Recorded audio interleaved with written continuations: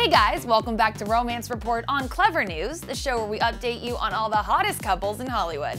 I'm your host, Deidre Behar, and it looks like Cupid helped mend a broken relationship because Dianna Agron and Sebastian Stan are back on. Starfiend.com reports that the lovebirds spent Valentine's Day together and they hit up French bistro La Poubelle in Hollywood for dinner.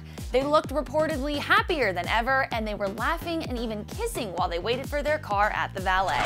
The couple dated for seven months in 2011, but broke up in December due to these alleged jealousy issues.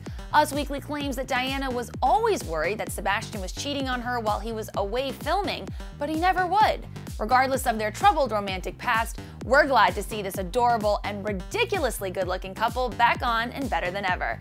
So, friends, let me know your thoughts here. Are you guys stoked to see Dianna back with Sebastian, or do you want her to date maybe a different Hollywood hunk? Maybe one of her co-stars on Glee like Mark Salling or Cory Monteith.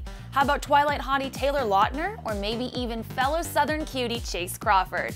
Vote for your favorite guy that you'd like to see Dianna date in the comment section below, and make sure you subscribe to Clevver News for more romance reports and entertainment scoop.